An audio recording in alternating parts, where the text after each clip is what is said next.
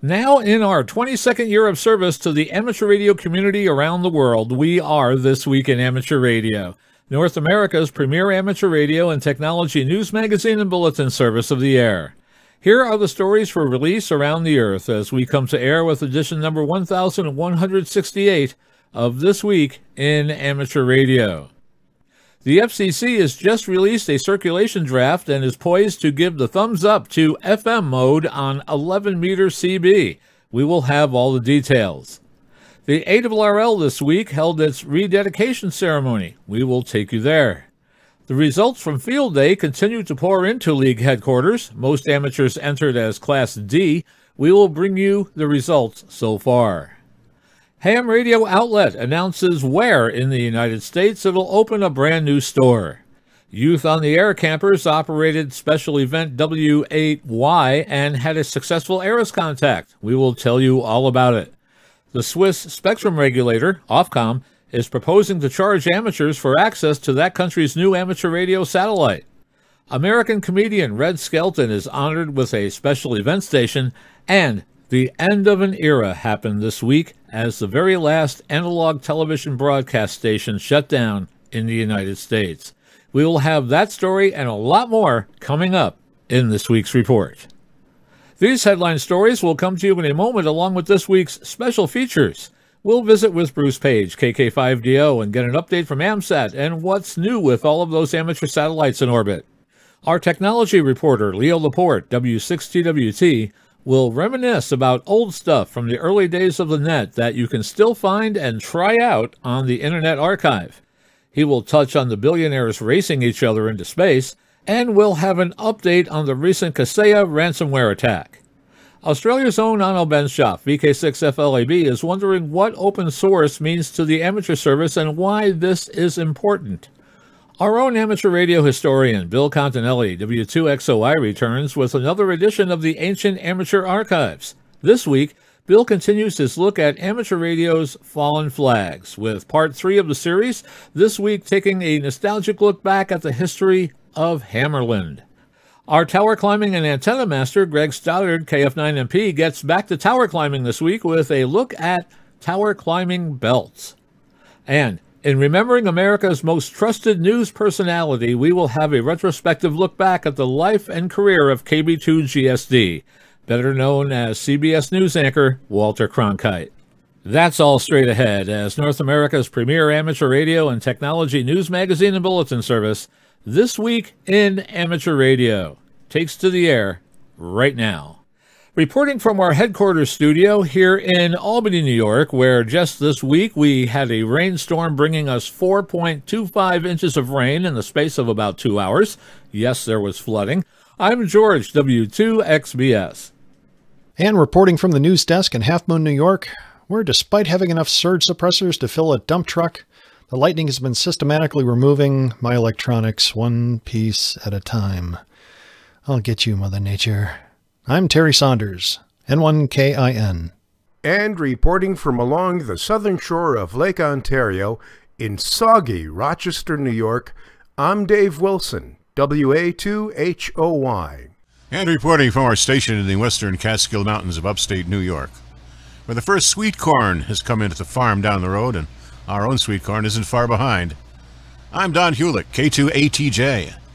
And reporting from a boiling hot Troy, New York News Bureau, I'm Eric Zittel, KD2 RJX. And reporting from our news bureau in Fayetteville, Arkansas, where it was 69 degrees a couple of mornings ago. Wait? What? 69 degrees? In the middle of July? In Arkansas? This is nuts! And I'm Will Rogers, K5WLR, wondering what alternate reality I find myself in now. And now, with our lead story, here is Terry Saunders, N1KIN.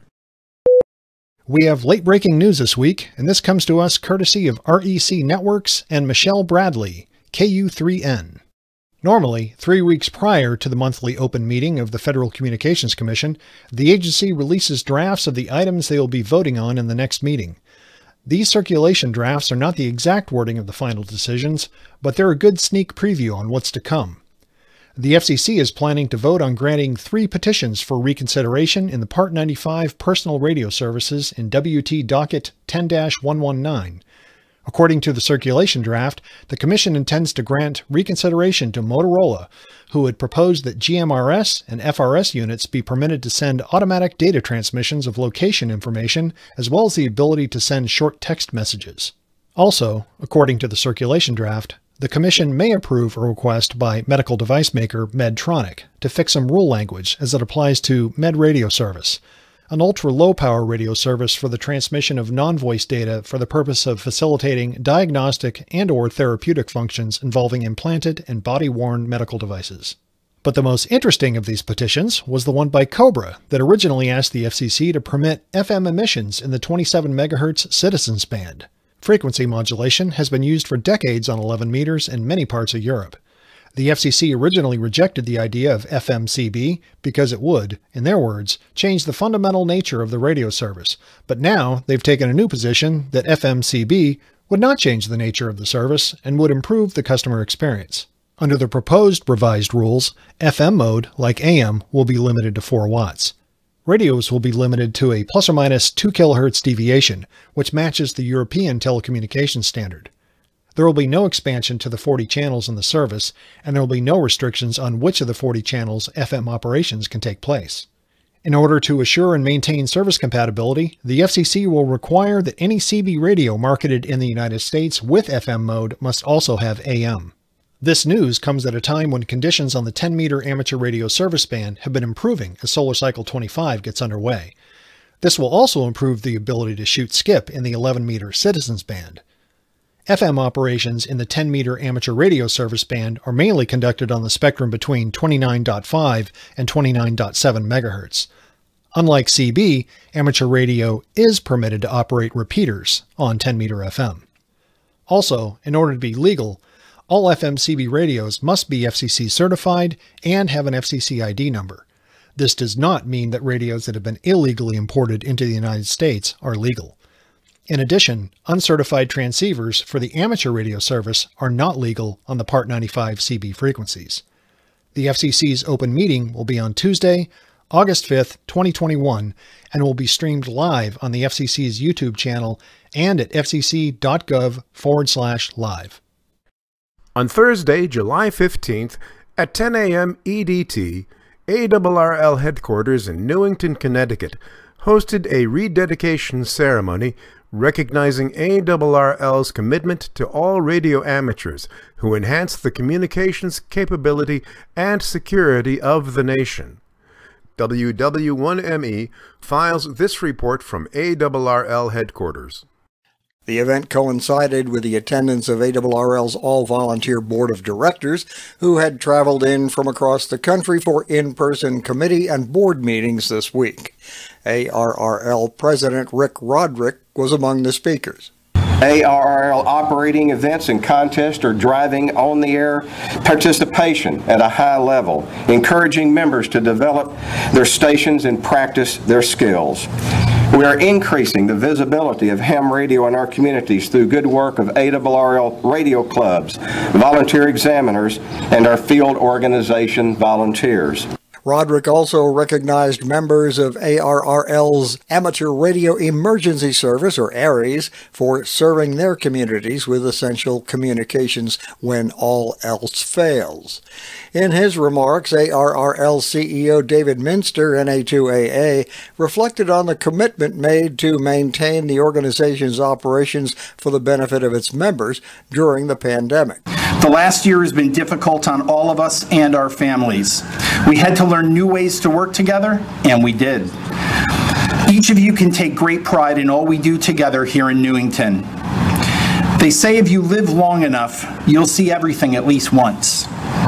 In the 107 year history of our humble association, it has lived long enough to survive not its first, but now second global pandemic. In that time, we've seen the good, the bad, and the ugly that life can represent. Representatives of the IARU and Radio Amateurs of Canada were among the luminaries on hand. A video of the rededication ceremony is posted on ARRL's YouTube channel. I'm Rick Lindquist, WW1ME. The event also included remarks by Connecticut District 1 U.S. Congressman John B. Larson, Connecticut State Senator Matt Lesser, and Glenn A. Field, KB1GHX, warning coordination meteorologist for the National Weather Service Boston Norton office in Massachusetts. Also in attendance were representatives of the American Red Cross, the Connecticut Department of Emergency Services and Public Protection, the International Amateur Radio Union, Radio Amateurs of Canada, Connecticut General Assembly, the Town of Newington, and ARRL officers, board members, and staff. A video of the rededication ceremony is posted on ARRL's YouTube channel. In the second year in which the rule waivers were in place for ARRL Field Day, some 4,815 entries were received at ARRL headquarters by July 13th, the majority in Class D as home stations.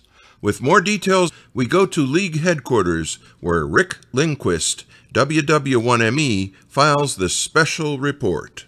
Last year saw more than 10,200 entries in all and nearly 18,900 participants. Before the pandemic in 2019, some 3,100 entries were submitted, with 36,420 total participants. As contest program manager Paul Bourque and 1SFE observed, discussions he's had with participants this year suggested that even though some groups gathered in larger numbers this year, many participants chose either to gather in smaller groups or to operate solo from home as Class D or Class E stations stations. With the entry submission deadline looming, the tally of participants reported is 16,166. They made just north of a million total contacts. Field day entries must be submitted online or postmarked no later than 2059 UTC on July 27th. I'm Rick Lindquist, WW1ME. Andy Goss, AA5JF, took part in the first ever field day for the Augusta University Amateur Radio Club, WA4AUG, which set up in the Georgia Schools Critical Event Preparedness and Response Center. Field Day was already a success on Saturday with the stations working smoothly and lots of local visitors dropping by. An hour after sunrise on Sunday, we were counting our points when Darby KK4PEQ announced he had just worked a station on 6 meter phone, just playing around on 50 megahertz using the 2015-10 tribander, Goss said. He stayed on 6 for 5 QSOs, but we quickly moved to 10 and 15, finding those bands were open to just about everywhere, and we doubled our score in just three hours. What a rush! There's still time to submit your 2021 Field Day entry. Most of this year's field day entries have been submitted online worth 50 bonus points, although some 50 paper logs have been mailed in. Participants can check the Entries Received page to make sure their entries were received and complete. If the entry status indicates pending documents, either the required dupe sheet or in lieu of that a Cabrillo log file or supporting documentation of claimed bonus points is missing.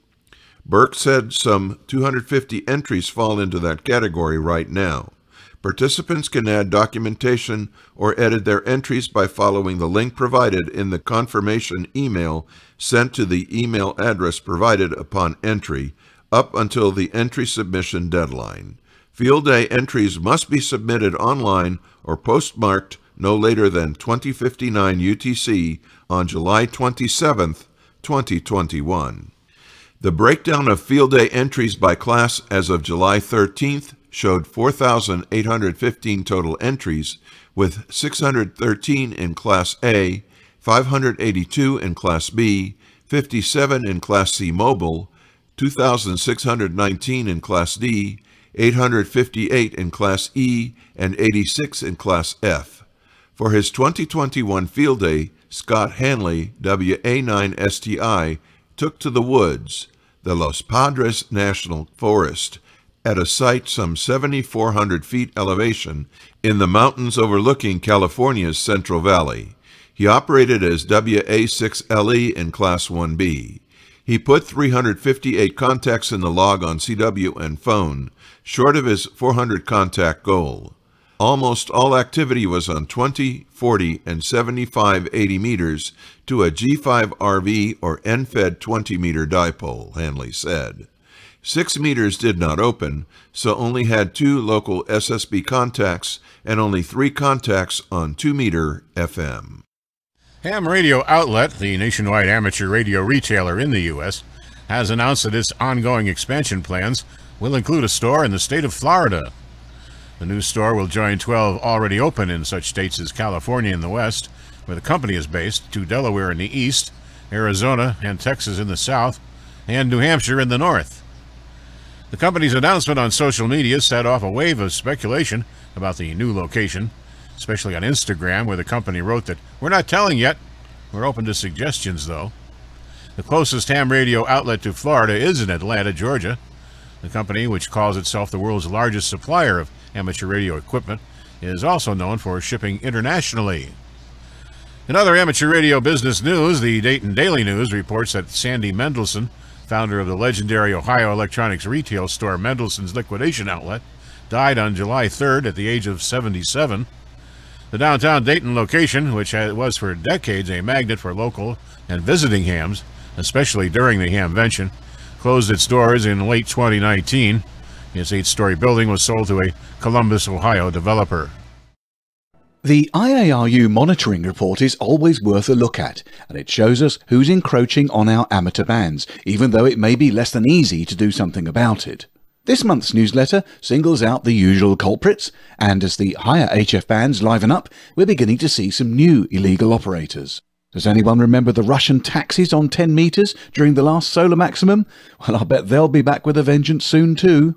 The latest IARU Region 1 Monitoring System newsletter reports that over the horizon radars are still the main nuisance for radio amateurs. And with the summer propagation conditions, and thanks to several sporadic E-layer events known as ES for short, numerous DriftNet radio buoys and other fishing gear were heard again in the 10 metre band, illegally serving the marking of fishing nets at sea.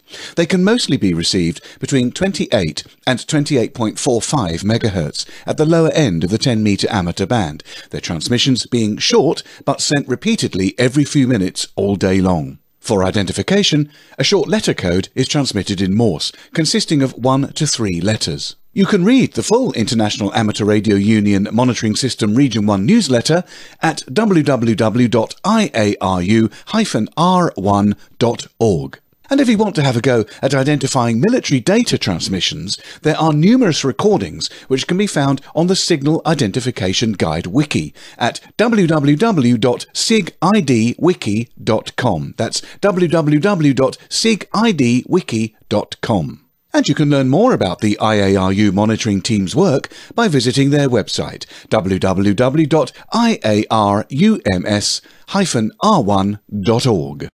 The first Youth on the Air camp for young radio amateurs in North, Central, and South America took place in Westchester, Ohio.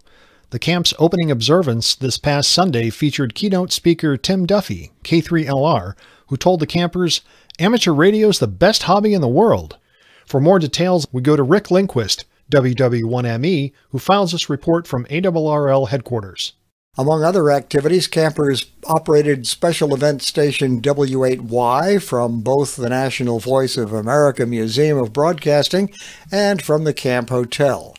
Camp Director Neil Rapp, WB9VPG, was pleased at how things were going at midweek. Um, but yeah, it, it's gone really well. It's chomping at the bit to get on the air the uh, space station contact went flawlessly this morning. Finished all the questions and had about 10 seconds left. And then we've been Island doing uh, VHF contests within the park.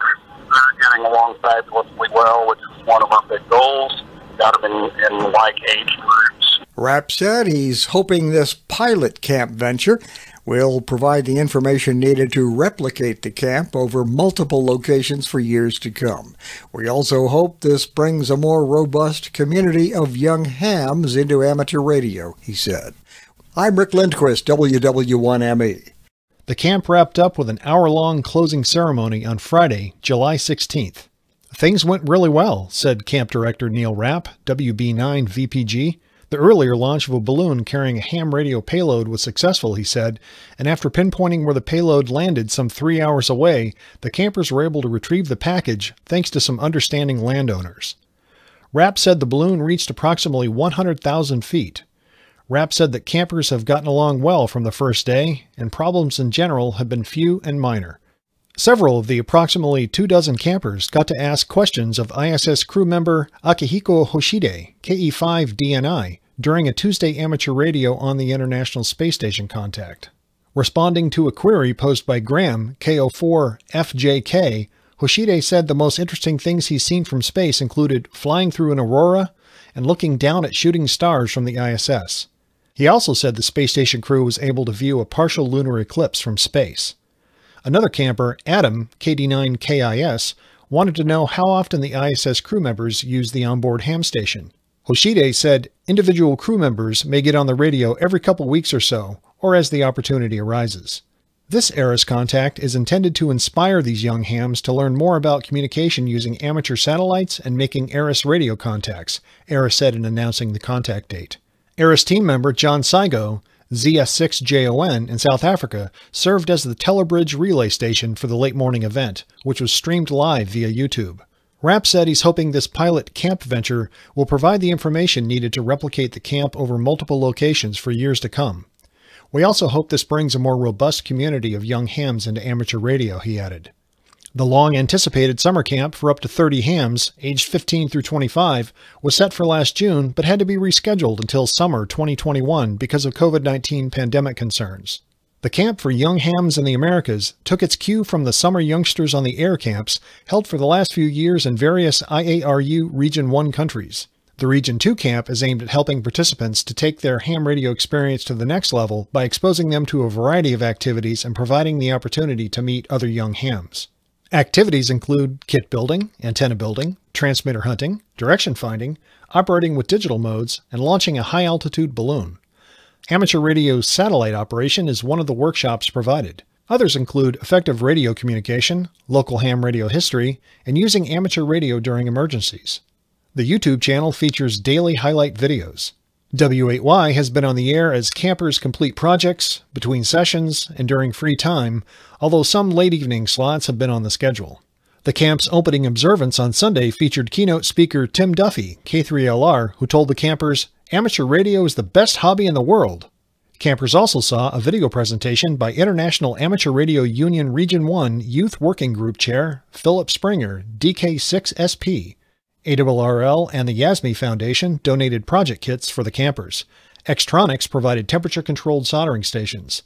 The brochure on the Youth on the Air website includes more details about the camp. The next Youngsters on the Air contest is July 18th. Following the success of the first Youngsters on the Air, or YOTA, contest held this past May, the second event is this Sunday, July 18th, from 1000 to 2200 UTC.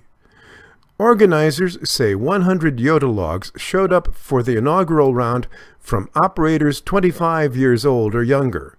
Including veteran hams, 700 logs were submitted by the deadline. The scores are posted on the YOTA contest website. YOTA contests are held three times a year, each lasting just 12 hours, with the ideas of increasing on-the-air activity and awareness of the YOTA program.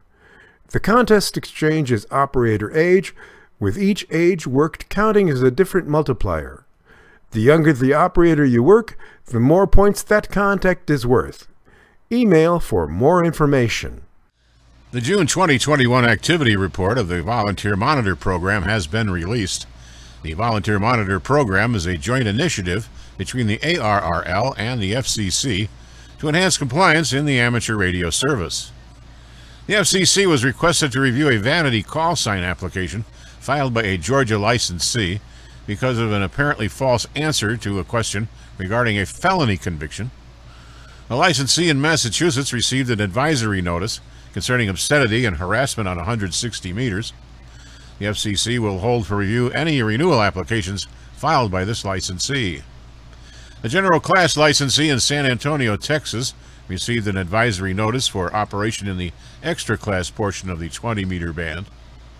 Licensees in Pennsylvania, North Carolina, Georgia, and Virginia received advisory notices concerning failure to identify and other possible violations as part of a general audit of complaints about licensee conduct on 1.938, 3.860, 3.895, and 3.927 megahertz.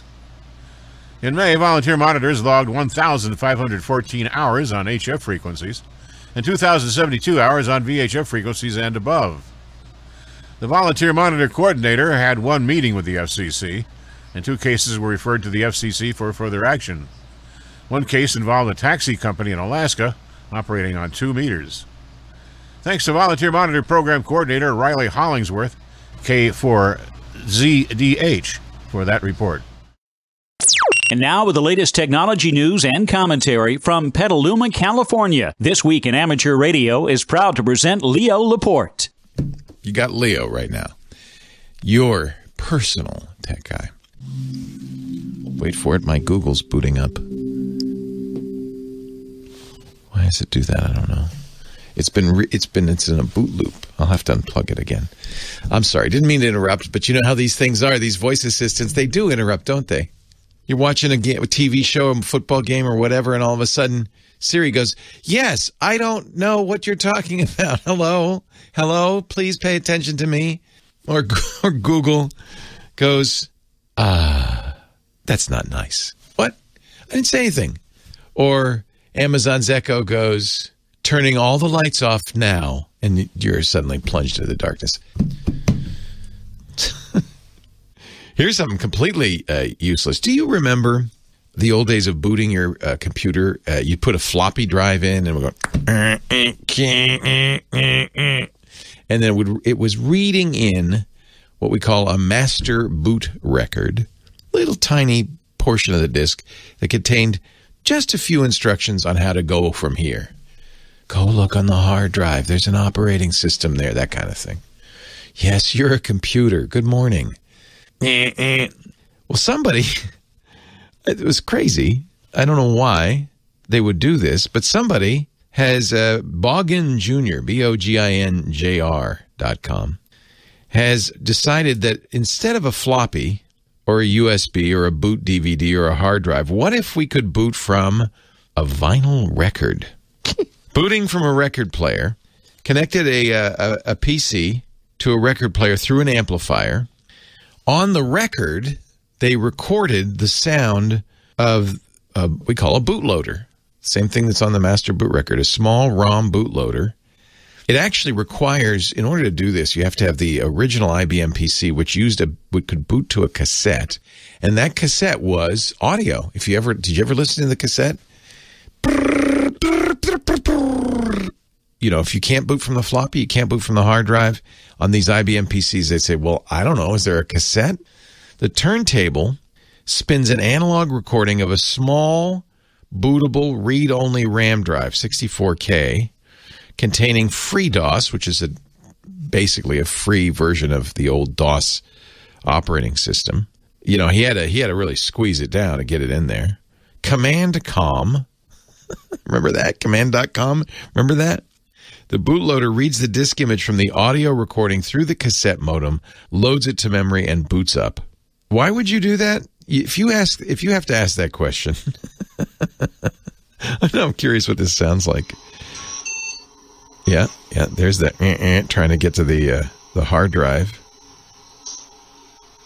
and I guess the the turntable's now turning on, and the, it says needle on the record. Oh, it actually has an instruction that says, "All right, now because you have to do this manually, put the needle on the record, start it up."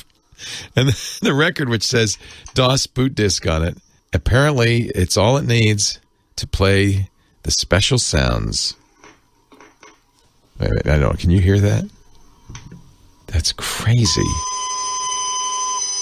I shouldn't play that on the air because probably somebody somewhere is booting up. Sounds a little like that sound that the modems used to make.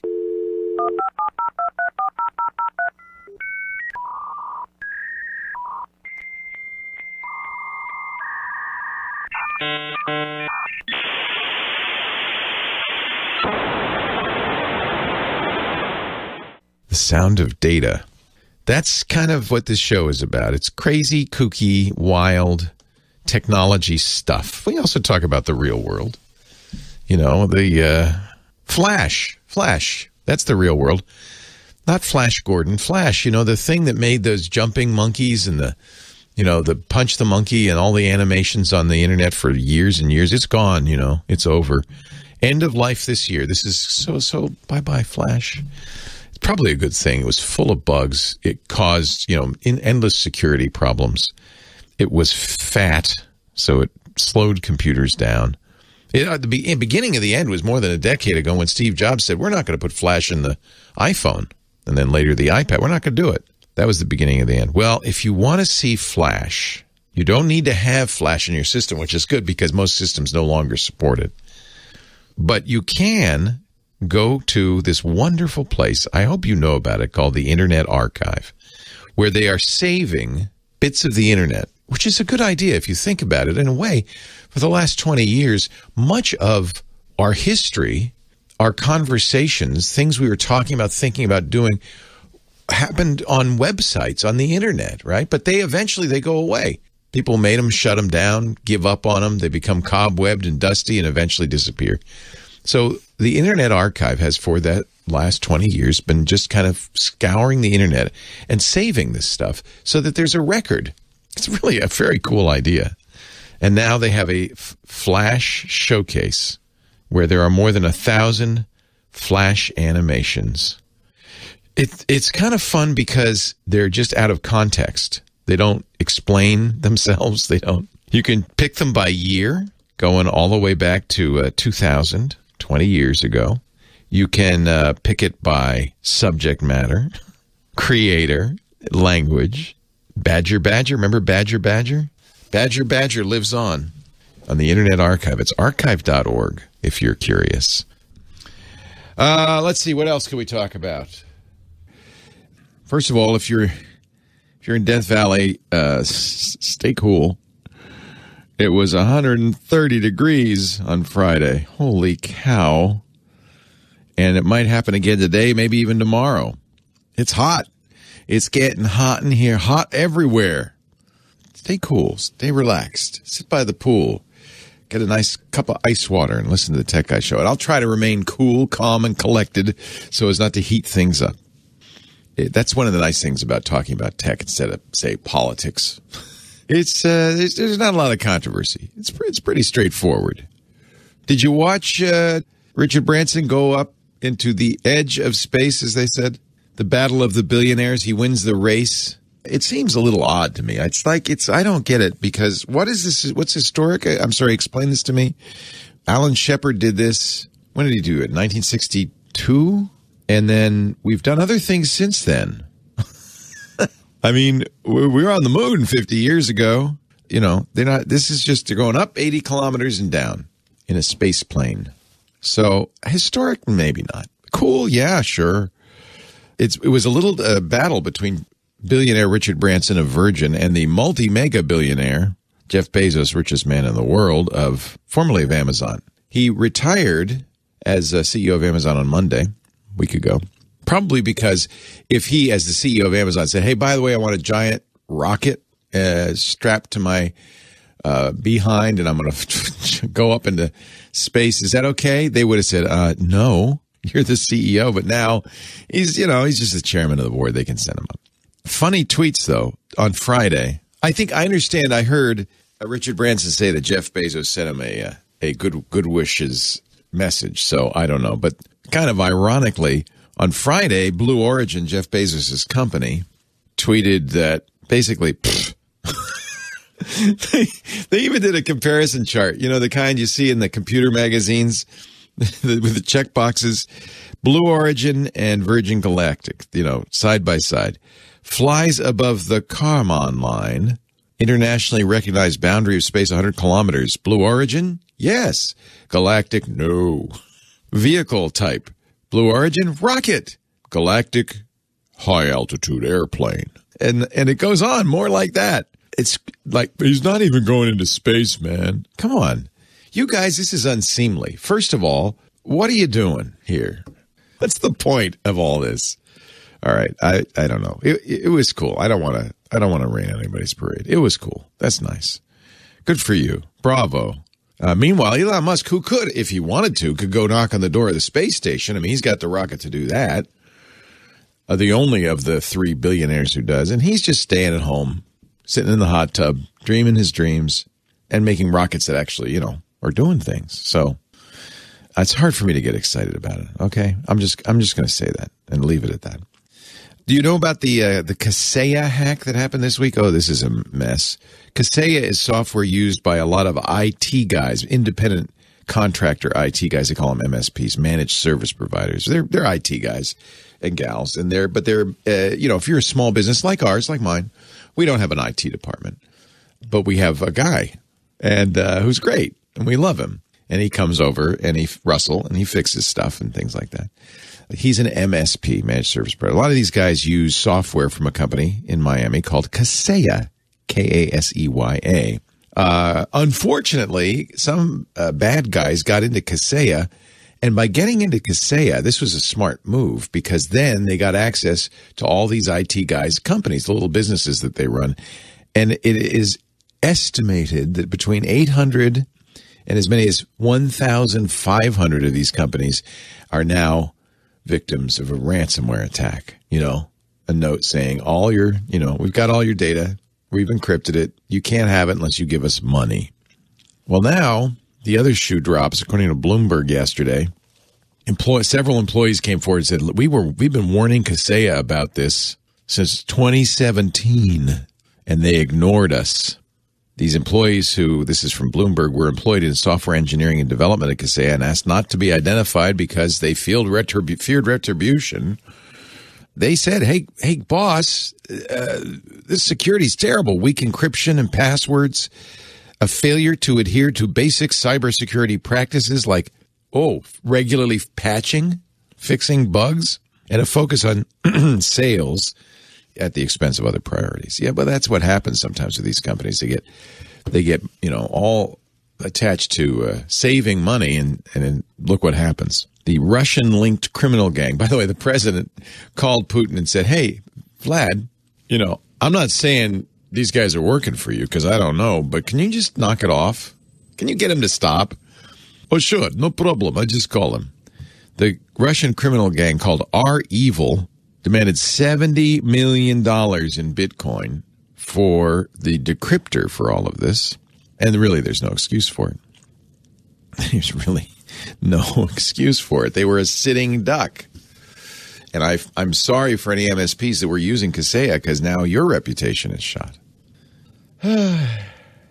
this is going to be the year of ransomware. I said that last year, I said the year before. Every year it's worse.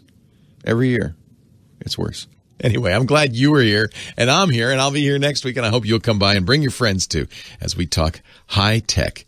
Leo Laporte, the tech guy. Are you ready for another trip into amateur radio history? I'm Bill Continelli, W2XOY, and I'll be back in a moment with another edition of the Ancient Amateur Archives here on This Week in Amateur Radio.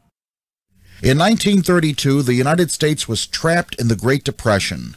The gross national product had fallen by 50% and unemployment was 25%. Despite the bleak economic forecast, or maybe because of it, amateur radio was flourishing, with a 300% increase in the number of hams over a five-year period. It was during this time frame that two of the best-known names in amateur radio receivers, Hallicrafters and Hammarlund came into existence. In our last installment, we charted the rise and fall of Hallicrafters. Today, let's look at Hammarlund. Oscar Hammarlund founded the company that bears his name in 1932. His goal was to produce top-of-the-line receivers for amateur, military, and commercial use. By all accounts, he was successful. The first model was the Comet Super Pro. By the late 1930s, Hammarlund introduced the HQ 120X. This was a 12 tube, 6 band, single conversion receiver that covered 540 kilocycles to 31 megacycles. The price in 1938 was $129. With inflation, that's about $900 today. In 1939, the company created the Super Pro model SP200, considered by many to be Hammarlund's finest pre-war receiver. Hammarlund's motto was, Use the set the experts use. The SP200 featured 16 tubes in the receiver, two tubes in the separate power supply, and sold for $279, or about $2,000 today. During World War II, the military, the U.S. Signal Corps, and many governmental agencies extensively used the SP-200. After the war, Hammarlund introduced the HQ-129X, which was an updated and improved version of the HQ-120X. Incidentally, the X indicated that the receiver had a crystal filter, other post-war single conversion receivers included the HQ-140 and the HQ-150. In the Super Pro series, Hammarlund's first post-war model was the SP-210, but it was the SP-600 introduced in 1950 that got everyone's attention. This was a large, solid, and expensive receiver. It contained 20 vacuum tubes, covered 540 kilocycles to 54 megacycles in six bands, weighed 100 pounds, and consumed 180 watts of power. The price in 1950 was $985, almost $5,000 today. A very low frequency version, the SP600 VLF, sold for more than $2,000 in 1950. $300 more than a new Studebaker. The SP600 series was produced in a variety of models until 1972 and was used extensively by the military, the FBI, the CIA, and other government and commercial organizations. The SP600 was not designed with amateur radio in mind. That, along with a price equal to the annual net income of a typical ham, kept it from being a popular amateur receiver. Although the bulk of Hammarlund's output was general coverage receivers, they also produced ham band only units, such as the HQ-110, a 12-tube unit made from 1957 to 1961, and the HQ-170, a 16-tube receiver produced from 1958 to 1968. The HQ-170 covered 160 through 6 meters and was triple conversion with IFs of 3035, 455, and 60 kilocycles. Hammarlund's last major receiver was the HQ-180, introduced in 1959. This was a very popular general coverage receiver covering 540 kilocycles to 30 megacycles. It had 17 tubes, a triple conversion design, and sold for $439 in 1959. During the 1950s and 1960s, Hammarlund went through some changes. They moved to Mars Hill, North Carolina, and tried to expand their product line beyond just receivers. They came out with some transmitters called the HX series and even ventured into the CB radio market with the CB23, HQ105TR, and the HQ205. The last two units were unique in the CB radio arena as they had a built-in shortwave receiver in addition to the CB transmitter. Unfortunately, the HX series and the CB radios were not successful, and by 1969 they disappeared. By the late 1960s, Hammarlund was in trouble. Their main product was the HQ-180 and its various military and commercial derivatives. Except for the HQ-215, an all-solid-state receiver, the company ignored transistors. Hams no longer looked for tube-type receivers. They wanted transceivers and, by the early 1970s, solid-state 2-meter FM rigs. Even in the shrinking receiver-only market, Hammarlund faced stiff competition from Heathkit, Hallicrafters, Lafayette, National, Knight-Kit, and Allied Radio Shack, all of whom had four or five tube shortwave radios for less than $70. The cheapest receiver Hammarlund ever sold had eight tubes and cost twice as much. During the early 1970s, Hammarlund tried one last PR blitz with friendly, folksy ads in QST, but it was hopeless. Why should the 1972 amateur spend $400 or more for a receiver when $350 bought a Tempo 1 transceiver? The writing was on the wall. Even National and Hallicrafters with wider product lines were on their last legs. And so, in 1972, Hammarlund pulled the plug on the HQ-180 and the SP600 and closed up shop. The corporate assets, including the name and trademarks, were purchased by the Cardwell Capacitor Company, who also purchased the remains of National at a bankruptcy auction. But even though the company is gone, the indestructible receivers still live on. Today, thousands of enthusiasts rediscover the romance and excitement of shortwave listening with the warm, comforting glow of a Hammarlund receiver. In this day and age of scanners and other pre-programmed receivers, have we lost the art of trolling the HF frequencies for that rare and unique catch? Perhaps we need more Hammarlund receivers in the hands of amateurs. Direct from our newsroom in Washington, in color, this is the CBS Evening News with Walter Cronkite. Legendary CBS newsman Walter Cronkite, KB2GSD, who held the title of Most Trusted Man in America, passed away Friday, July 17th after a long illness. He was 92. The avuncular Cronkite anchored CBS Evening News for 19 years until 1981 when he retired. During that time, he reported on such subjects as the Kennedy assassination, the Civil Rights Movement, Apollo 11, Vietnam and Vietnam era protests, the Arab Israeli Six Day War, Watergate, and the Menachem Begin peace accords. From 1962 to 1981, Mr. Cronkite was a nightly presence in American homes and always a reassuring one, guiding viewers through national triumphs and tragedies alike, from moonwalks to war, in an era when network news was central to many people's lives.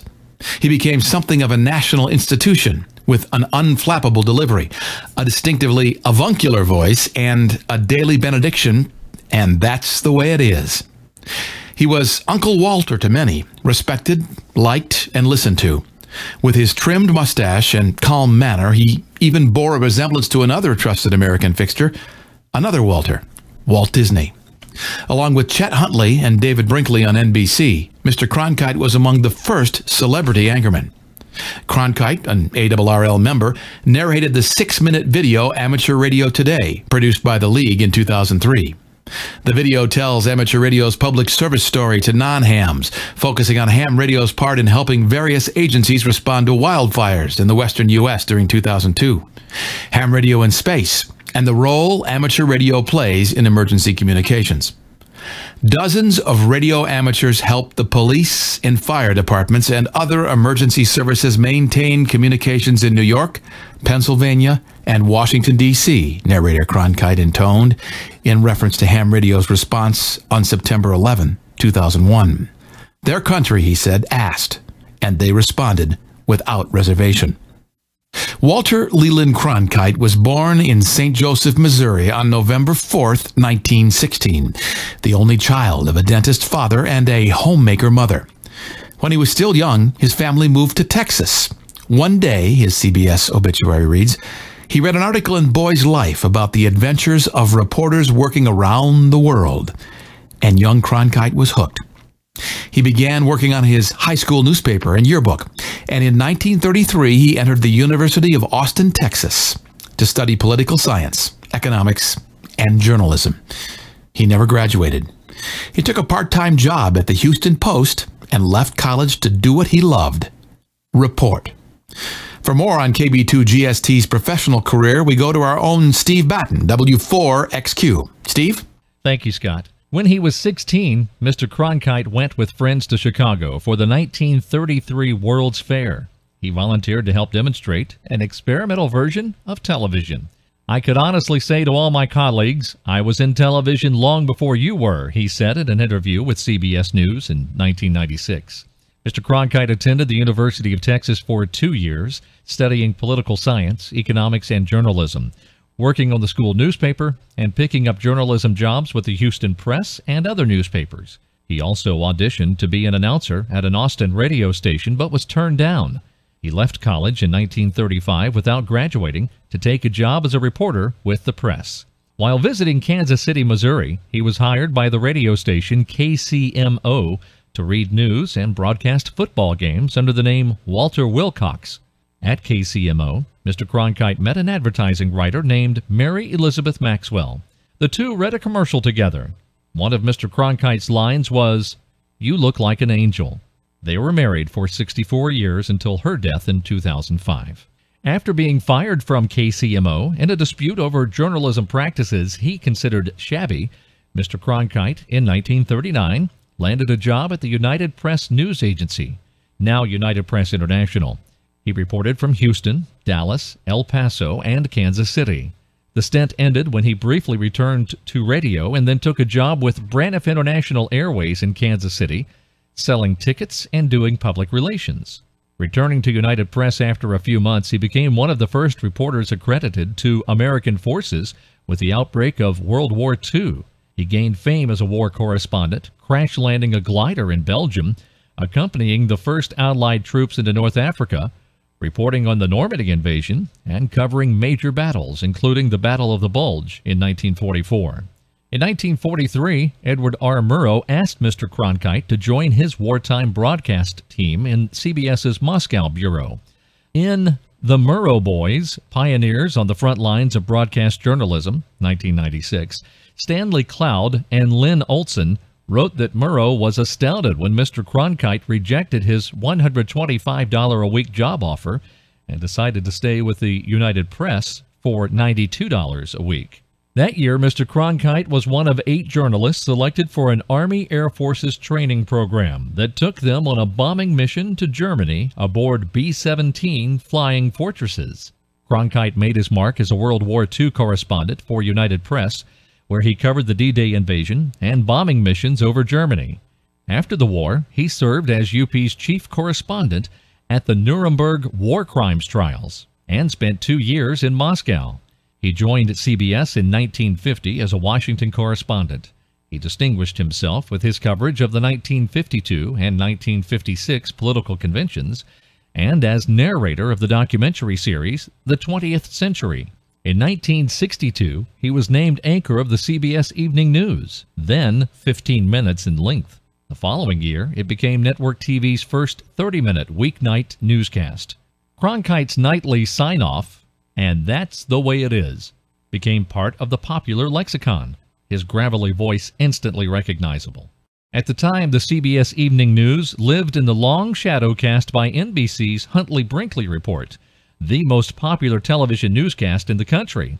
Expectations for the Cronkite newscast were not high, the CBS obituary said, but in 1963 the broadcast was expanded to 30 minutes, and Cronkite won a title for which he had long campaigned, managing editor. The added time gave the broadcast more depth and variety, and the title gave Cronkite more influence over the content and coverage. And it came at a significant time. In September of that year, Cronkite launched the expanded program with an extended interview with President John F. Kennedy. Two months later, it was Cronkite who broke into the soap opera, As the World Turns, to announce that the president had been shot and later to declare that he had been killed. CBS called it a defining moment for Cronkite and for the country. His presence, in shirt sleeves, slowly removing his glasses to check the time and blink back tears, captured both the sense of shock and the struggle for composure that would consume America and the world over the next four days. One of Cronkite's enthusiasms was the space race. In 1969, when America sent a man to the moon, he couldn't contain himself. Go, baby, go, he said as Apollo 11 took off. He ended up performing what critics described as Walter to Walter coverage of the mission, staying on the air for 27 of the 30 hours that Apollo 11 took to complete its mission. In 1977, Cronkite interviewed Egyptian President Anwar el Sadat, who, according to CBS, told Cronkite that, if invited, he'd go to Jerusalem to meet with Prime Minister Menachem Begin. The move was unprecedented. The next day, Begin invited Sadat to Jerusalem for talks that eventually led to the Camp David Accords and the Israeli Egyptian Treaty. In 1981, Cronkite announced he would retire at the age of 65 to make way for a new anchor in the chair, Dan Rather, CBS said. A commentator said it was like George Washington leaving the dollar bill. Cronkite said on March 6, 1981, as he concluded his final broadcast as anchorman, Old anchormen, you see, don't fade away. They just keep coming back for more. And that's the way it is. After leaving the evening news broadcast, Cronkite was seen and heard occasionally as a special correspondent for CBS, CNN, and NPR. From 1987 to 1992, he filled his last role for CBS News. Walter Cronkite's 20th Century, a 90 second radio segment for CBS Radio. A production company he co founded in 1993, the Cronkite Ward Company, produced documentaries for the Discovery Channel, PBS, and other networks. In 2004, he wrote a weekly syndicated newspaper column that appeared in 186 newspapers. For many years, Cronkite hosted the annual Vienna New Year's concert on PBS and the Kennedy Center Honors. In 2000, Cronkite was designated a living legend by the Library of Congress. Established during its bicentennial celebration in 2000, the Library of Congress's Living Legend Award is selected by the library's curators and subject specialists to honor artists, writers, activists, filmmakers, physicians, entertainers, sports figures, and public servants who have made significant contributions to America's diverse cultural, scientific, and social heritage. The professional accomplishments of the living legends have enabled them to provide examples of personal excellence that have benefited others and enriched the nation in a variety of ways. For a look at Walter Cronkite's amateur radio career as KB2 GSD, we go to our own Frank Haas, KB4T. Steve Mendelson, W2ML, was Cronkite's radio engineer at CBS for many years. I had many chances to discuss my favorite hobby, ham radio, with the world's most trusted anchorman, he told the ARRL. Gradually, his interest increased, but on finding that he had to pass a Morse code test, he balked, saying it was too hard for him. However, he told me that he had purchased a receiver and listened every night for a few minutes to the novice bands. At the CBS radio network, Walter would arrive 10 minutes before we went on the air to read his script aloud, make corrections for his style of grammar, and just get in the mood to do the show. In those days, Rich Mosen, W2VU, was the producer of a show called In the News, a three minute television show for children voiced by CBS correspondent Christopher Glenn.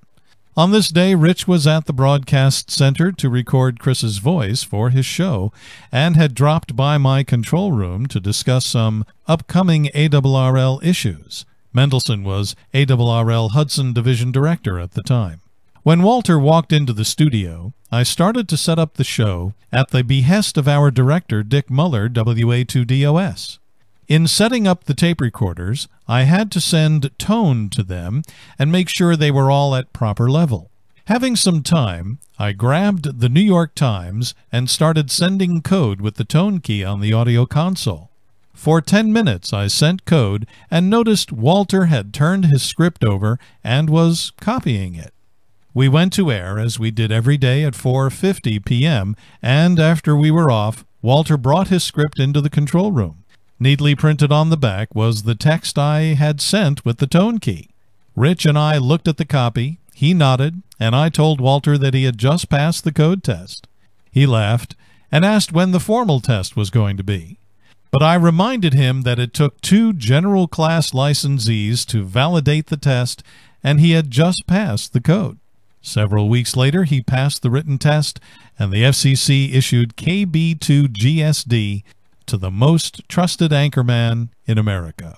Having passed the license test, Walter was now ready to get on the air. His first QSO was on 10 meters, about 28.390 megahertz. He was nervous, and I called him on the phone to talk him through his first experience. As we talked on the air, a ham from the Midwest came on and called me, Acknowledging him, I asked the usual questions about where he was from, wanting to give Walter a bit of flavor of what the hobby was about. Turning it over to Walter, and following his introduction, the gentleman in the Midwest said, That's the worst Walter Cronkite imitation I've ever heard. I suggested that maybe it was Walter, and the man replied, Walter Cronkite is not even a ham, and if he was, he certainly wouldn't be here on 10 meters. Walter and I laughed for weeks at that one. In 2007, the Radio Club of America, or RCA, presented Cronkite with the Armstrong Award, the RCA's foremost achievement award, and named for its first recipient, Major Edwin Armstrong. Upon presenting the award to the esteemed newsman, Richard Summers, W6NSV, said, each year, the Radio Club of America recognizes outstanding achievement in the field of wireless communications by honoring individuals who have made significant contributions to the industry and the public it serves. The highest and most prestigious award given by the club is the Armstrong Medal, created in 1935 and named after Major Edwin Armstrong, wireless pioneer and inventor of FM radio.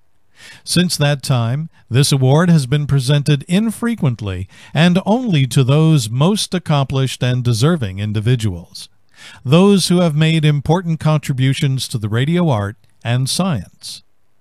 As his significant contribution, our award recipient has used the medium of television to keep the American public informed of the news in a manner never before imagined. And tonight, we have the distinct privilege of having that individual with us. America's best known and most respected broadcast journalist, Walter Cronkite. When Summers was done with his speech, Cronkite stepped up to the podium, and Summers handed him the award. Cronkite simply said, Thank you for accepting me as one of you and for your accomplishments in the field of communications. Before the RCA banquet and ceremony, ARRL Hudson Division Director Frank Fallon, N2FF, presented Cronkite with the ARRL President's Award. This award, created in 2003 by the ARRL Board of Directors, recognizes an ARRL member or members who have shown long-term dedication to the goals and objectives of ARRL and amateur radio, and who have gone the extra mile to support individual league programs and goals. Cronkite was selected to receive the award in April 2005 in recognition of his outstanding support of the ARRL and amateur radio by narrating the videos Amateur Radio Today and The ARRL Goes to Washington. It was quite a thrill to make this presentation to Cronkite, Fallon said. He has long been recognized as the most trusted man in America aligning our causes to his face, name, and voice has been a great help. Mendelssohn remembered Cronkite as a wonderful friend with a great sense of humor. On one particular day, I was a bit withdrawn and missed several cues on the radio show. After the show, Walter came into the control room and asked our director, Dick Muller, WA2DOS, what was wrong. Dick explained that my dad had just had an operation and that I was quite worried as my father was in his late sixties. Later that night, I went to visit my father in the hospital, and when I arrived, all he would talk about was how thrilled he was talking with Walter Cronkite on the phone for a half hour before I arrived. I was stunned, as I had not told anyone but the director about the operation. I found out the next day that Walter had asked his secretary to call all of the hospitals on Long Island to find my dad and talk with him. And even though I saw Walter in the hallway after work, he never told me he had talked with my dad. This was the measure of the man, never too busy to help someone he worked with. To me, Walter was always a friend, not just the most trusted anchorman in America. Cronkite is the recipient of a Peabody Award, the William White Award for Journalistic Merit, an Emmy Award from the Academy of Television Arts and Sciences, the George Polk Journalism Award, and a gold medal from the International Radio and Television Society. In 1981, during his final three months on the CBS Evening News, Cronkite received 11 major awards, including the Presidential Medal of Freedom. In 1985, he became the second newsman after Edward R. Murrow to be selected for the Television Hall of Fame. In 2006, Cronkite was asked in an interview with Gail Shister if he ever thought about death. When you get to be 89, he said, you have to think about it a little bit. It doesn't prey on me, and it doesn't keep me awake nights. Occasionally, when I'm upset about something else, I think, my gosh, I don't know if I should do this or that because I'm not sure I'll be here that long to enjoy it. Mr. Cronkite is survived by his daughters, Nancy Elizabeth and Mary Kathleen, his son Walter Leland III, and four grandsons. And that's the way it is. Thursday, March 17th, 1977. This is Walter Cronkite, CBS News. Good night. Time now for the AMSAT report. Hams have built some satellites that have lived well into old age. There's AO7, of course.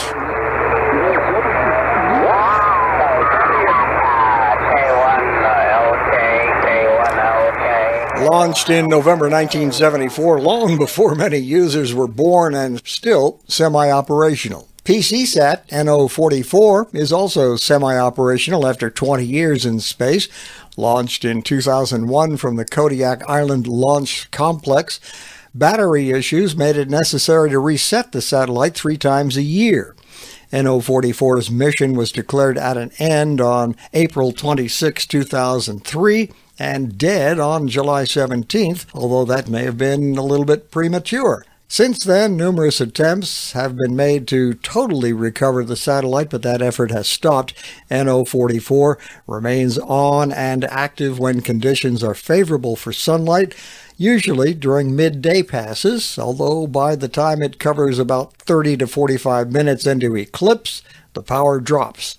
Listen for it on 145.825. Hats off to Bob Bruninga, WB4APR, and his then crew of U.S. Naval Academy shipmen. The AMSAT report comes to us each week courtesy of Bruce Paige, KK5DO.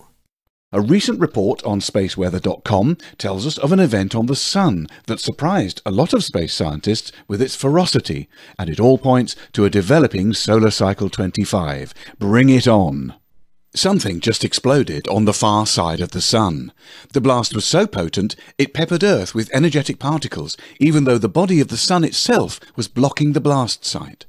This is the latest sign of increasing activity by young solar cycle 25. Spaceweather.com reports that this event happened on July the 13th. The debris from the explosion emerged in a circular cloud known as a halo coronal mass ejection. When space weather forecasters first saw this explosion, there was a moment of excitement. It appeared to be heading directly towards Earth. However, data from NASA's Stereo A spacecraft indicated otherwise. The ejection was heading directly away from us, so it was classed as a far side event. But although the explosion occurred on the far side, separated from Earth by the massive body of the Sun itself, it still peppered our planet with high energy particles. Detailed analysis is still being carried out, but it is speculated that the liftoff of the coronal mass ejection was so violent it may have created a global shockwave on the Sun, with the possibility of some particles spilling over the edge, and they might have spiraled towards Earth. In its report, spaceweather.com says that the source of the blast might have been the same sunspot group, AR2838, that produced the first X-ray flare of solar cycle 25 on July the 3rd. That sunspot is currently transiting the far side of the Sun, approximately where the coronal mass ejection came from. Within the next week, this sunspot group is expected to return to an Earth-facing position, and then maybe the real fun will begin. So keep your eyes on the spaceweather.com website. If operating via satellite is as easy for you as stepping outside and pointing your antenna skyward to catch a pass, consider what hams in Switzerland are now required to do. They must pay a fee to access satellites. With more details on this story, we go to Steve Richards, G4NJH reporting from the Southgate Amateur Radio News. As radio hams, we should never take our access to the spectrum for granted. It's a gift to be given or taken away, and each country's governments have their own special grip on what they will and won't allow within their borders. And most of the time, radio amateurs don't have to pay for using this one precious spectrum. Well, I did say most of the time. If you're an amateur radio satellite user, count yourself lucky that you don't live in Switzerland. The Swiss communications regulator, Ofcom, charges £55 or 70 Swiss francs to issue radio amateurs with special permits to use the QO100 amateur satellite transponders. The Swiss National Amateur Radio Society, the Union of Swiss Shortwave Amateurs, or the USKA, said that the regulator wishes to protect license-exempt users in the 2.4 GHz band, and Ofcom reserves the right to withdraw the special permit if there are problems. The special permit entitles the holder to use a transmitter with a maximum output power of 100 watts PEP for a satellite uplink in the range 2400 to 2410 MHz. As part of their application, radio amateurs must submit the following information their call sign and license number, location details including Swiss mapping coordinates, details of their antenna including gain, height above the ground, direction and elevation, and they must also provide an email address and a telephone number so that the operator can be reached while the system is in operation. Well, there's more at tinyurl.com forward slash IARU hyphen Switzerland. The regulator is charging 60 Swiss francs, the equivalent of about 76 US dollars. HAM's applications must contain all relevant information, including their location, so the regulator can keep track of all Swiss radio operators making use of the transponder on board the satellite. Transmitters are limited to a maximum output of 100 watts PEP on the satellite uplink in the frequency range between 2.4 and 2.41 gigahertz. Ofcom's biggest concern is the potential for interference in the 2.4 GHz band, which may be used license free for industrial, scientific, and medical purposes. The third QSO Today Virtual Ham Expo is a month away. The live event takes place over the August 14th and 15th weekend, and presentations will remain available on demand for 30 days. Sponsors predict that the event will be a great experience for those wanting to improve their knowledge of amateur radio, as well as of cutting-edge ham radio technology and practical techniques. The ARRL is a QSO Today Virtual Ham Expo partner. At the expo, you can listen and engage with almost 100 internationally recognized ham radio luminaries on approximately 18 different tracked topic areas. There is something for everyone, the sponsors say. Topics include antennas and transmission lines, build-a-thons, contesting and DX, controllers, digital voice mode, emergency communications, filters and tuned circuits, the future of amateur radio, ham history, HF digital modes, new licenses, power amps, propagation, radio astronomy, software and services, space and satellites, test and measurement, and youth and amateur radio. A complete list of speakers at the QSO Today Virtual Ham Expo is posted on the event's website. These are some examples. In the Antennas and Transmission Lines presentation, August Hansen, KB0YH, will focus on such topics as small transmitting loop design and STL Calc, an open source design aid for STL and magnetic loop antennas that can respond to users' changing needs and design goals. Jeffrey Mendenhall, W8GNM, will address the topic Compromised Beverage Antennas Hear Better Than You Think. The presentation focuses on overcoming non-ideal terrain and space limitations. Fun with HF QRP Pedestrian Mobile with Peter Parker VK3YE will offer a look at two antennas for HF Pedestrian Mobile and the results possible with such an operation. Ham radio author Don Keith, N4KC, will present Top 5 Get on the Air Quick Antennas, which offers recommendations for the simplest, most effective antennas to consider. Within the new license, Now What track, the presentation HF Noise Mitigation will describe various noise sources and how to mitigate noise using a variety of techniques. Anthony Luscre, K8ZT, will discuss technician licensees, life beyond local repeaters. Participants will explore the world of activities, modes, and bands available outside of repeater operation. There's no limit on the number of topics and tracks that QSO Today Virtual Ham Expo visitors may view. Return anytime within 30 days to review any presentation, as well as to explore exhibitor offerings. Early bird tickets are $10 or $12.50 at the door. Access to only the exhibitor area is free. Switzerland's National Amateur Radio Society, the USKA, recently took action to tackle a case of repeater abuse. Their UHF group reports that on the morning of July the 2nd, 2021, various 70cm repeaters suffered serious interference in the form of DTMF tones and siren signals. And this was not for the first time either. Various direction finding teams were encouraged to track down the troublemaker, and they were successful.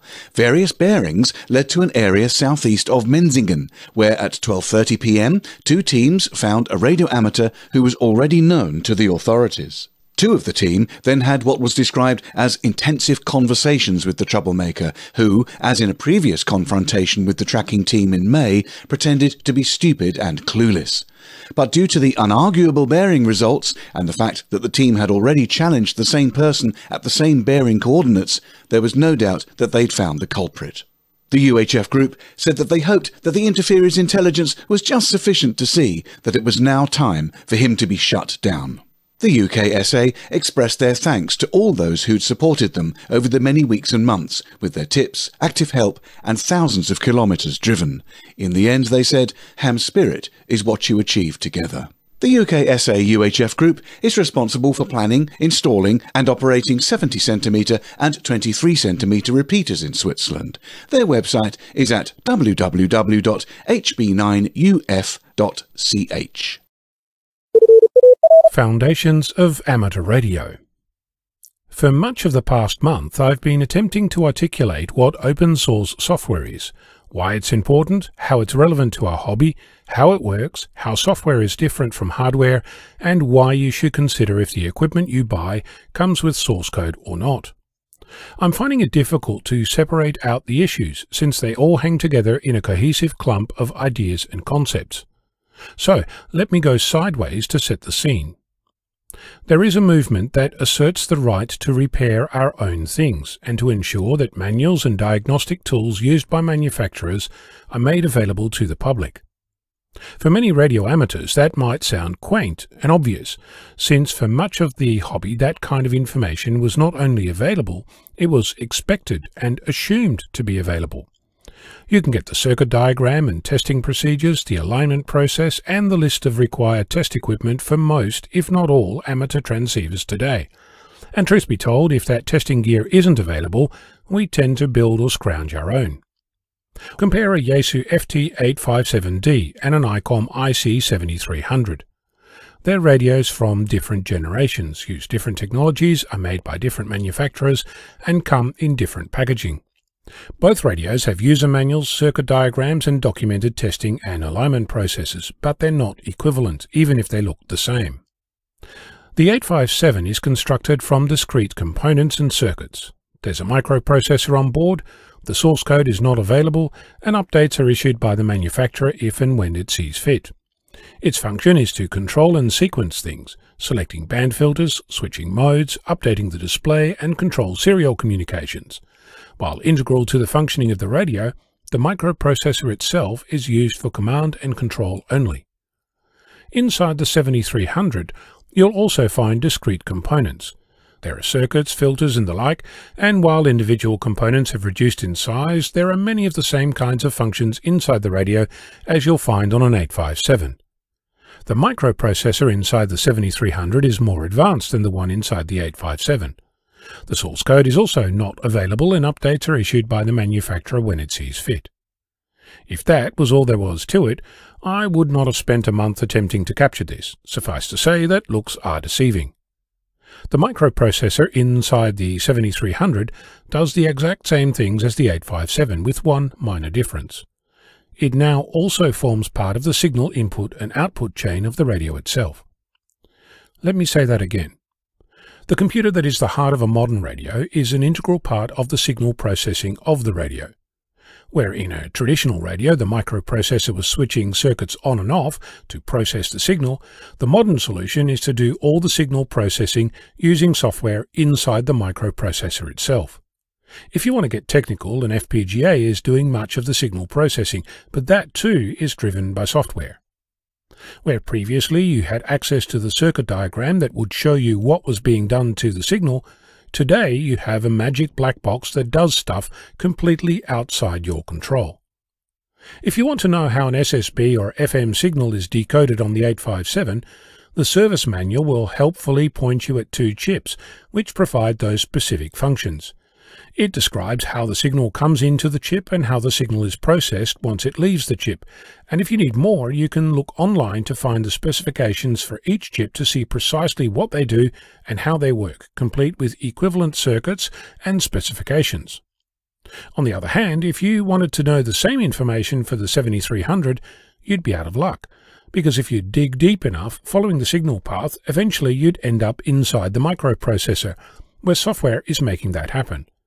There's no description on how this works, what the circuit equivalent characteristics are, there's no way to change how it works, no way to set parameters, no way to see inside, and no way to experiment. This is a problem because it means that you've got a solution that's no longer operating in the spirit of amateur radio. It's not open for experimentation, it's not subject to review, there's no way to test, no means to improve, no way to do anything other than what the manufacturer decided was appropriate. For example, if I wanted to modify the FM pass bandwidth on an 857, I could update the FM demodulation circuit by replacing a couple of components. On a 7300, I could not, because there is no circuit. The FM demodulator is described in software that I don't have access to, and ICOM has decided that the FM passband is fixed. If the software was open, however, I could add this function and make it available to anyone who would like to experiment. At this point, I'd also like to observe that the ICOM user manual states that inside the IC7300, it uses open source CMSIS RTOS RTX, zlib, and libpng software. So ICOM is benefiting from open source efforts, but not sharing their own. This is not an ICOM only problem. This is a specific issue around open source versus closed source, and while you might think that the right to repair and open source is something that's not relevant to you, I'd like to invite you to consider what the implications are for our hobby. Are we going to go down the road of button pushers, or are we continuing our role as inventors and experimenters? I'm Onno Victor Kilo 6, Foxtrot Lima Alpha Bravo. YouTuber Rob Braxman calls himself the Internet Security Man. He's also a radio amateur. In a recent video release, Rob talks about the many domestic devices which are using radio frequencies to move data around and says that your personal internet devices are secretly communicating with each other. This includes your devices that are not just in your home. To be clear, Rob runs a company which wants to sell you security products, but the video is worth watching as it does illuminate what might be going on with the equipment in your home, and he uses his experience of amateur radio to provide an introduction to how these devices use the radio spectrum. In the video, he asks whether domestic consumers are aware that their internet connected devices may be transmitting to third parties. For example, he says, Did you know that your TV may have the capability and may currently be transmitting your activity far and wide?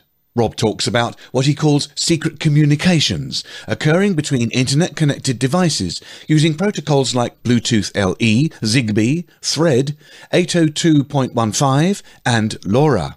He says that domestic consumers are unlikely to know about this or didn't have it explained when they bought these devices. Just like Amazon Echo has been conscripted to work with the Amazon Sidewalk Mesh network, other networks are in operation and some are completely unknown. You can learn about these in Rob Braxman's video. And can you jam these devices? Well, this is answered at the end of the video.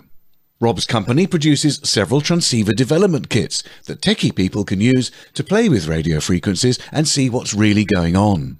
If you want to view the presentation, go to YouTube and then search for Rob Braxman Tech Radios Built In. With a population just north of 71,000, the Caribbean island country of Dominica boasts a modest but active ham radio population. Given Dominica's vulnerability to hurricanes, the ham radio emphasis often focuses on emergency communication support. In 2017, after Hurricane Maria hit the tiny island, ham radio filled a huge telecommunications gap. Now the country's telecommunications regulator is asking hams to help formulate new amateur radio guidelines and standards. Dominica's National Telecommunications Regulatory Commission, or NTRC, collected comments until July 12th from radio amateurs participating in a consultation, or what the US FCC would call a proceeding, that could lead to a formal and better documented set of rules and regulations. There is limited guidance for those who seek to utilize the telecommunications media for their own personal use, enjoyment, and fulfillment as a hobby, as in the case of amateur radio, the NTRC said in a consultation document. Generally, amateur radio is self-regulating, and so the involvement of the telecommunications regulator is minimized. Though amateur radio clubs generally do their best to provide some level of guidance and support to existing and prospective operators, there is great need for a formal and comprehensive set of guidelines and standards for the operation of amateur radio services in Dominica. Resources used in developing the draft proposals included ARRL, the FCC's Part 97 Amateur Radio Rules, and the International Telecommunication Union. A primary source for this document was the Code of Federal Regulations due to its comprehensiveness and its informal adoption in certain parts by the local amateur radio fraternity, the NTRC said.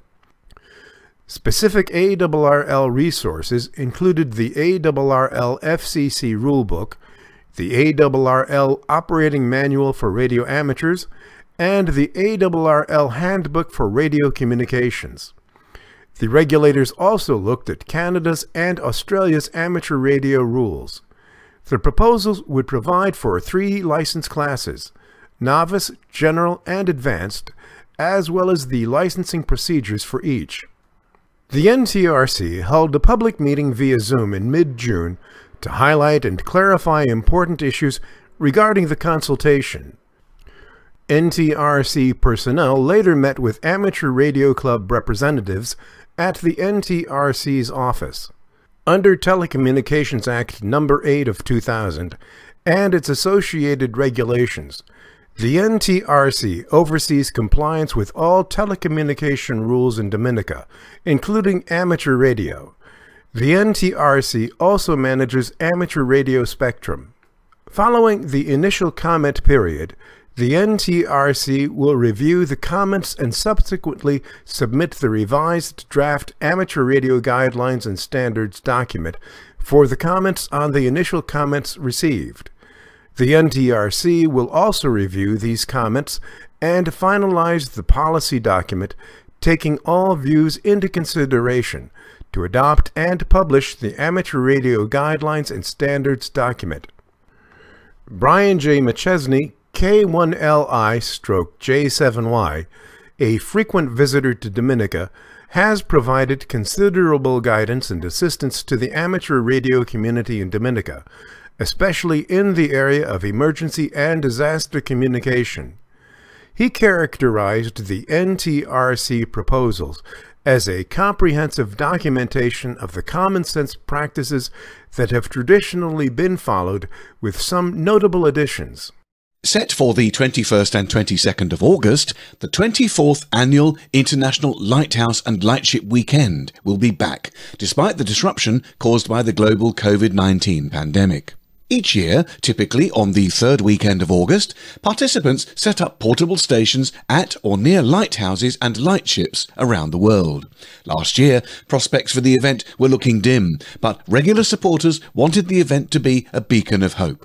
And more than 360 registrations from 43 countries backed up that belief. As of the 8th of July, this year's registration tally has already topped 211, with 29 participants from Australia, 25 from the United Kingdom, 51 from Germany, 23 from the USA, and 6 from South Africa. The International Lighthouse and Lightship Weekend typically attracts entries from some 500 lighthouses in over 40 countries. The event has few rules and is not a typical contest type event. The activity will begin at 0001 UTC on the 21st of August and continue through to 2359 UTC on the 22nd of August. Each station's operators decide how they will operate their station regarding modes and bands. There's no power restrictions or entry classes, and no scores.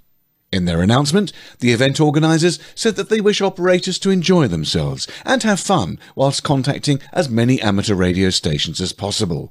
They request that stations take time to work other lighthouses or lightships, as well as the slow Morse operators or the newly licensed or low power stations. Participants should contact the relevant authorities to get permission to operate. It is within the guidelines of the event to move operations from a lighthouse to a museum for historic reasons. In any case, the lighthouse should be visible to and visited by the public wherever possible. You can visit the event website for more information. It's at illw.net. Although he never held an amateur radio license, the late American comedian Red Skelton was quite a ham. Fans of his TV, stage, and film antics will attest to that. A special event station recently honored this Indiana native across the HF bands. Getting on the air to mark the 108th birthday of the late Red Skelton, special Event station K9R exceeded its organizers' expectations. Operators called QRZ for nearly two weeks to end on Sunday, July 18th, and by the latest count, the log was fast approaching more than 700 QSOs, both DX and domestic. The QRZ page was getting more than 400 hits per day. Organizer Mark Stephen Williams, K9GX, said this first time activation was designed to coincide with a festival being held by the Red Skelton Museum of American Comedy in the comedian's hometown of Vincennes, Indiana. The museum is showcasing an exhibit called Airwave Anniversaries, spotlighting broadcast high points of his career. Mark said that when he spoke to the museum's director, Ann Pratt, about a possible activation, they both agreed the exhibit and festival paired naturally with the special event. The K2R organizers said that while waiting to receive their QSL cards, hams who made contact are invited to upload pictures of themselves and their shacks to the Facebook page of the Red Skelton Museum of American Comedy. To celebrate the first anniversary of the international group The Slow Morse Club, three special call signs will be active between July the 17th and the 25th. There will be Tango Mike 1 Sierra Mike Charlie, operated by Jeff F4IIQ from France, GB1 Sierra Mike Charlie, operated by Ray G0OKR for England, and Echo India 1 Sierra Mike Charlie, operated by John EI3HQB and Keith EI5 KJ from Ireland. This group aims to encourage new operators and shortwave listeners to learn Morse code, but also to bring together those who enjoy CW at a more relaxing pace. The group already enjoys more than 1,800 members around the world. The slow Morse stations will be active on the bands between 80 and 2 meters on CW and single sideband. A special paper QSL card will be sent out via the Bureau to each station present in the log and to the shortwave listeners who request it. Please send your QSL and SWL reports to the relevant QSL manager for each call sign. You can consult qrz.com for more information about the event. You can also find the Slow Morse Club on Facebook. And now, with his segment on tower climbing and antenna safety, here is Arizona's own Greg Stoddard, KF9MP. Every year, professional and amateur tower climbers fall to their deaths. In most cases, these accidents were avoidable. Not too long ago, people in my community were shocked when a commercial tower climber fell to his death. According to our local paper, Jerry Trammell, 29 years old, not an amateur, of southern Indiana fell from an older style microwave reflector tower where he was working with another climber. They were painting the tower. There is no way to prevent all accidents. That's why they call them accidents. As a tower climber, we can reduce them by following some simple safety guidelines. No matter if you're climbing up or down, a simple climbing procedure can dramatically reduce the risk of falling. The cost for this added safety is a slower rate of climb. First off, use the proper commercial climbing belt and attachment gear. Secondly, always wear a commercial climbing shoulder harness. Join the harness to your belt. And lastly, use a similar strap from your harness and attach it to the tower. but always to a different placement on the tower from your belt. This way, no matter which one fails, the other one is more than strong enough to hold your weight and that of your gear and cargo. With a dual strap attachment, you can climb up or down with two straps and always be attached to the tower. Using this method, the only thing that can injure you is a total failure of the tower or a near direct lightning strike. This may slow your vertical movement, but ask yourself this question. If I misplace a clamp, can I flap my arms fast enough to slow my fall to a safe speed? Let's review this simple procedure one more time. You will use two climbing straps to attach to the tower. Always clamp these two straps to different places on the tower, never to the same tower part. From a standstill, unhook one strap and step up one or two rungs until the other strap is around your knees. Then clamp the first strap as high as you can reach. Now, reach down and unhook the lower strap. Step up until the now higher strap is about knee height and reach up and clamp on with the loose one. By using shoulder harness and waist belts and using this method, you will always be connected to the tower while climbing. Remember to follow the dual attachment safety rule while clamped onto the tower when you intend to let go of the tower and lean fully into your belt. Always clamp onto two different places.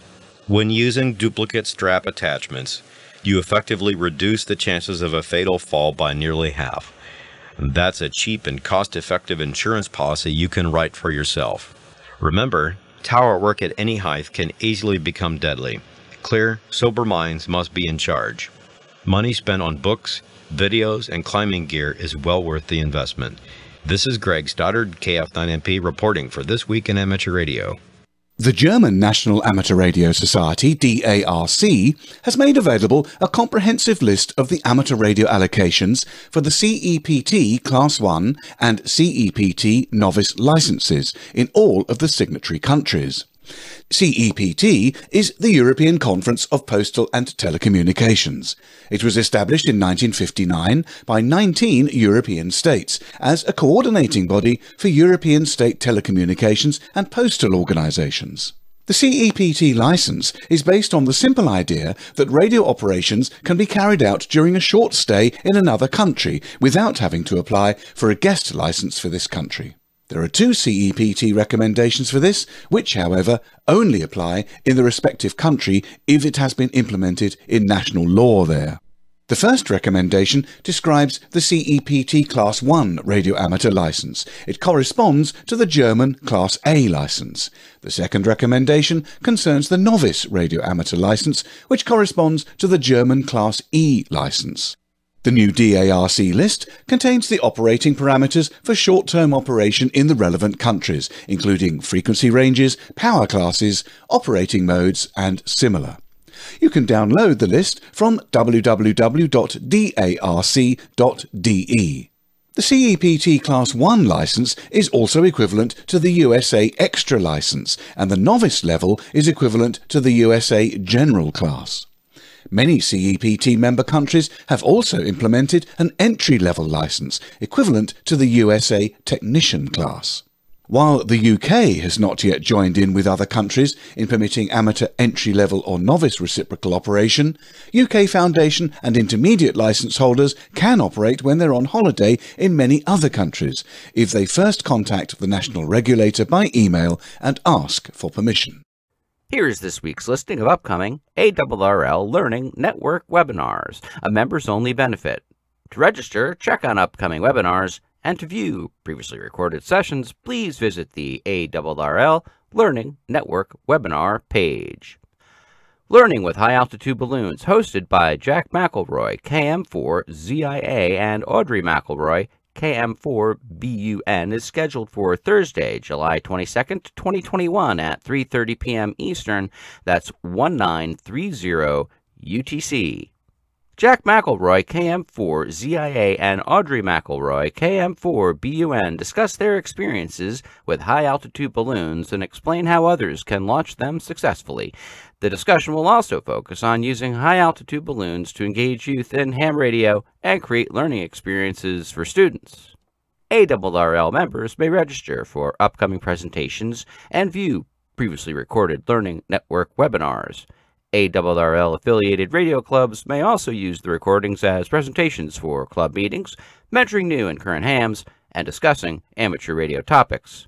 The ARRL Learning Network schedule is subject to change. Check the ARRL Learning Network webpage for the latest schedule.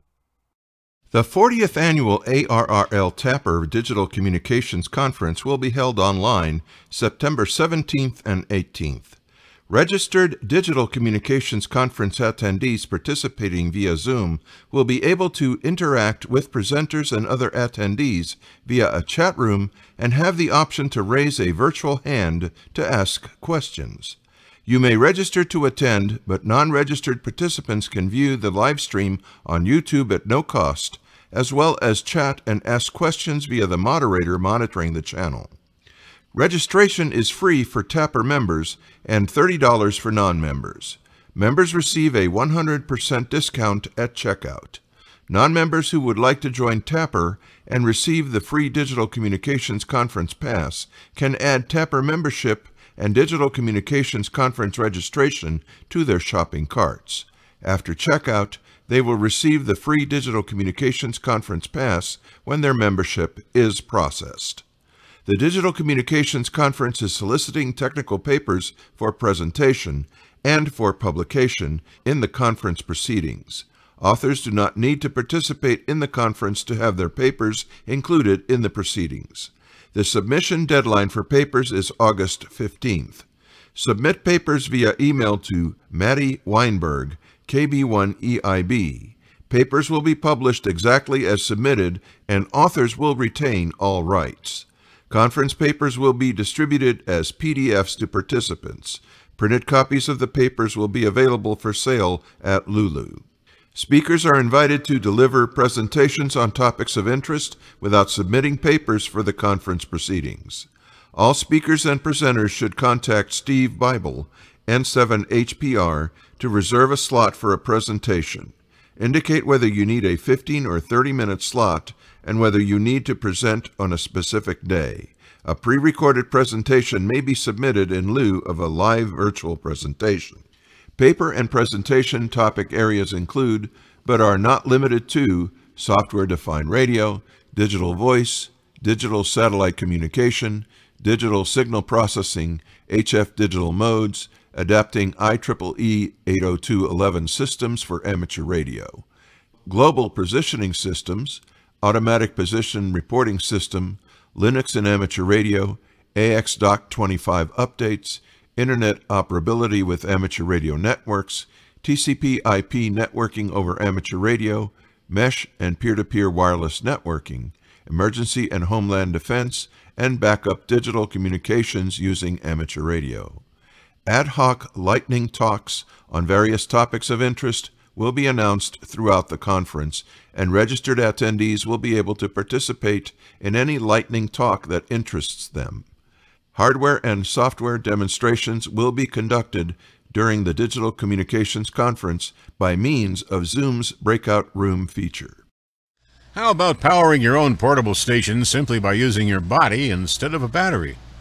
Researchers in Israel say that this makes more sense than you may think. Researchers call it the piezoelectricity, and it's been around for quite a while. The accumulation of electrical charges from solid materials is actually not a new concept, at least in the laboratory. Now, researchers at Tel Aviv University believe this nanotechnology will one day be able to power medical devices such as pacemakers by transforming the body's mechanical movements into electricity. That's because they discovered a way to do this using materials that are non-toxic, making them safe for implantation into the human body. The research was published recently in the journal Nature Communications. Now the time has come for this to be tried on humans. The lead researcher, Professor Ehud Gazit, said the practical applications extend beyond medicine. He said the device would also power streetlights simply by being placed on the road to capture energy from tire movements.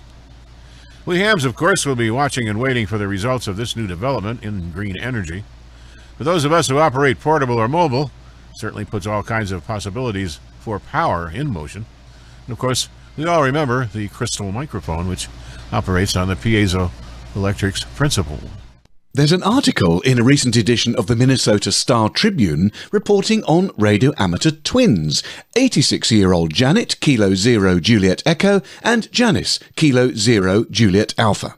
The article tells the story of the two identical twins who studied electrical engineering and worked for pioneering computer companies at a time when few women had careers in science and technology.